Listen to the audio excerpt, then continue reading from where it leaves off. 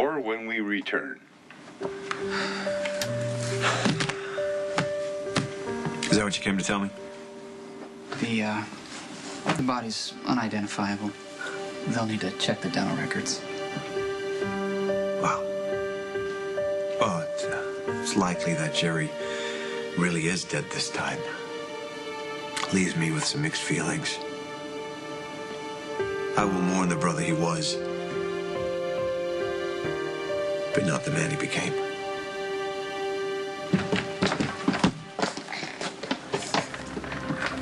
They found Jerry's body? Hasn't been identified. And unless we know for sure, you're still a target. I don't know where Ethan was. I personally told him to be there and receive the shipment. All right, well, extend my apologies to Senor Trujillo, please, and tell him I will more than make up for it.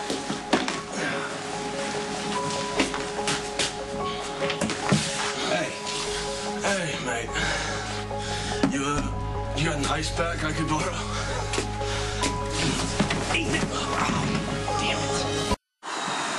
Make my life easy and say yes. You know how I feel about working with doctors. You've sucked it up before. I'm asking you to do it again. There are plenty of doctors that can do this That's not true. It's a delicate operation. You and Lisa are the most qualified doctors for the procedure. Oh, are you talking about the neck trauma and ER? If so, I want in.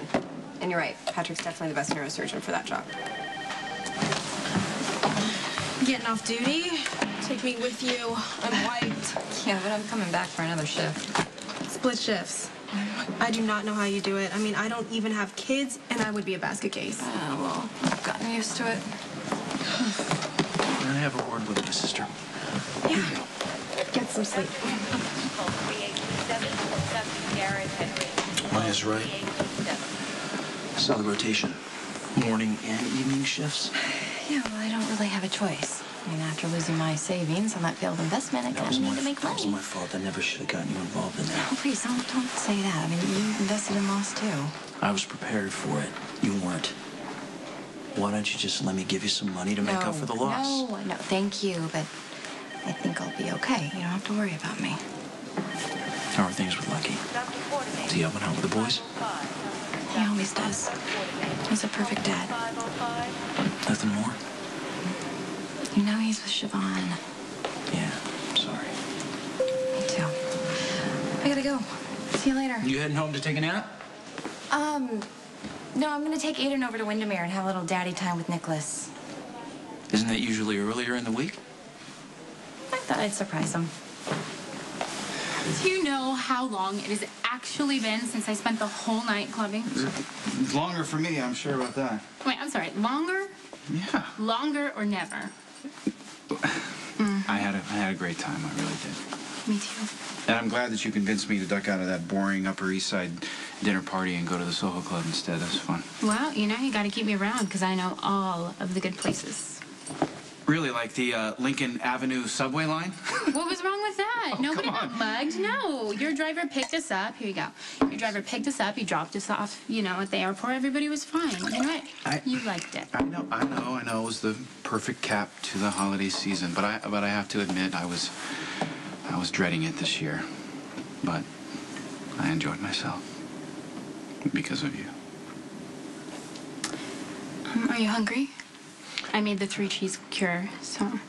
I'm afraid to ask. No, no, no, no. It's really good. It's um, it's actually macaroni ricotta. It's got what? It's got um, jack and cheddar, and it's been in the fridge the whole night. It's perfect, Mm. perfect right now, and it is the thing to eat after a night like last night. And actually, just so you know, Alfred insisted that he help me make it. He was so cute. Of course he did. He thinks that you are a most charming lady. Lady, wow. Well, I must be faking it good enough for Alfred. So. No. You are a lady. Where it counts.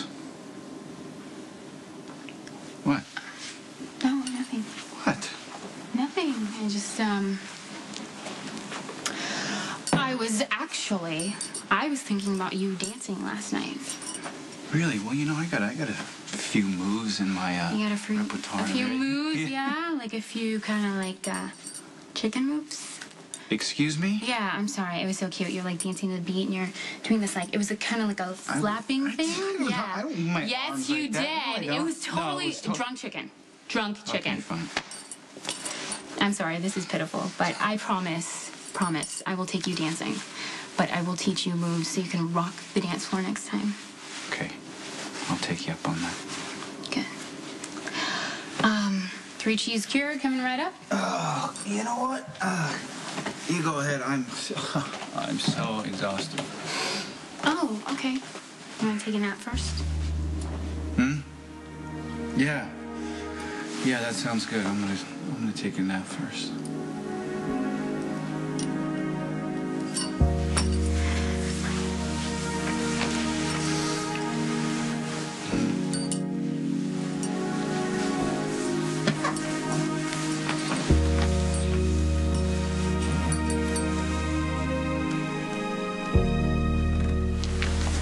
By a truck.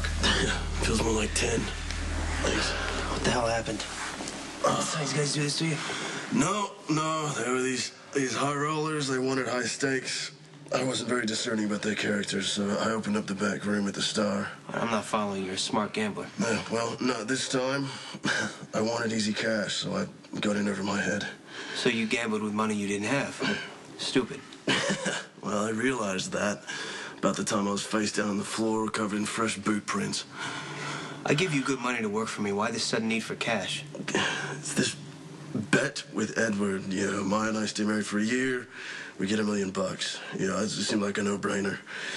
All we gotta do is stay together and we get a payout. Okay, so what's going on? You and Maya not getting along? No, no, it's the it's the opposite. We uh, she's amazing. You know, it's a good deal. I'm not seeing the problem, Ethan. I I don't trust myself in relationships. All right, a year's gonna go by. It's gonna get better and better, and I'm gonna have to break Maya's heart. Yeah, she deserves better than that. And I thought if I could get the money, she wouldn't have to go through with the bargain. Okay, so let me get this straight. You care for Maya deeply, so you're going to give her money to break up with you. Do you think that your brother is or was the Balkan? I don't know. I wouldn't put it past him. Did he ever confide in you? No. No. And if you think that I somehow helped him in all of this, all the damage he's caused, you're wrong. No, I, I I don't think that. I just know that you're pretty much the only person that Jerry cared about. Yeah, that's why when he showed up this time, he pointed a gun at Carly and threatened to shoot her. And he would have. I don't know who my brother is anymore. Well, look, the, the thing is, is even if the body is Jerry's, I still need absolute proof that he was the Balkan. Well, it seems like your interest in this is more than professional. Well, the Balkan's men kidnapped Siobhan as leverage to get to Brenda, and then the plan didn't work, but Siobhan could have been killed. So the Balkan knows she matters to you. Yeah. And if he's still alive, the danger to Siobhan is as great as ever. Do you notice anything? Do you notice, did you notice anything different? Those, uh, they're very beautiful. Do you like them? Yeah. They're eternity bands. Sonny gave them to me last night. It looks like that first one is rose gold. Yes, it is rose gold. so that one symbolizes uh, the day we met. And then, I don't know, he gave this whole romantic speech. It was really yeah, kind sure. of adorable. Can you can you just do me a favor and not go see Sonny without a guard? Why is there been a new I mean, threat? why? is Do you always have to I question? Can you just about? do no, what I'm I just tell saying you? That I am marrying your best friend, and so I'm going to ask you for the hundredth time. Why do you have to suck the joy Because out of our wedding? there's wedding? not going to be a wedding if you're dead.